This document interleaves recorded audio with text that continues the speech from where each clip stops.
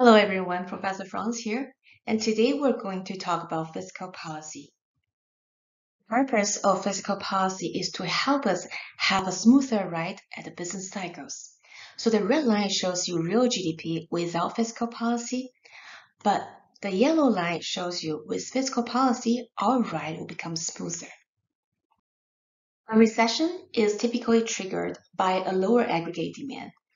When there is a recession, classical economists will tell you the government should do nothing because in the long run, the economy will adjust itself.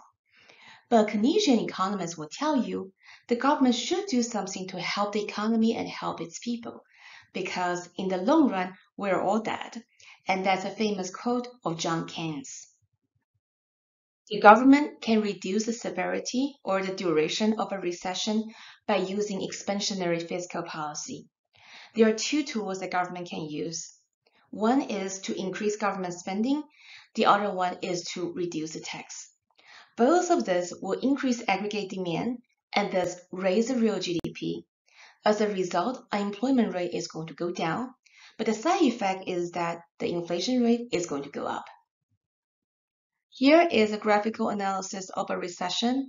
During a recession, aggregate demand curve shifts to the left from AD1 to AD2. As a result, price level goes down and real GDP goes down as well. Your new GDP is Y1, which is lower than our potential GDP Y star. That means in our economy, we have cyclical unemployment.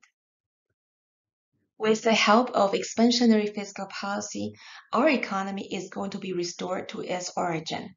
So, government spending is going to increase or the tax is going to be cut. As a result, our aggregate demand curve is going to shift from AD2 to AD3. But that's not the end of it because the multiplier effect is going to kick in. And that will further shift our AD3 to AD4. As a result, our price level and our real GDP will be restored to its original level. Recall that our expenditure multiplier is equal to 1 over MPS. So if the government spending increases by X dollars, then the GDP is going to increase by X dollars times the expenditure multiplier. So for example, if our MPC is equal to 0.8 and the government increases spending by $100 million, what will happen to our real GDP?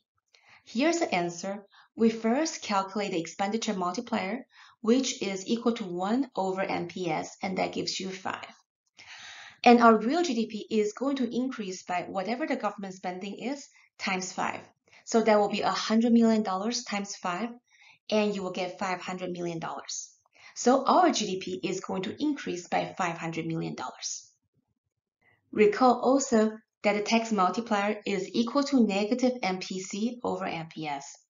Therefore, if we cut our tax by Z dollars, then our GDP is going to go up by negative Z times negative MPC over MPS dollars.